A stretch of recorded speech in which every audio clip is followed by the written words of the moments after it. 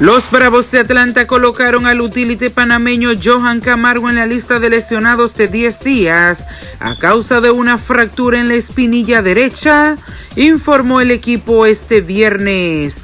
Camargo dejó el juego del miércoles con lo que se pensaba era solamente una contusión en la espinilla, producto de un foul bateado por el mismo que le impactó en la pierna.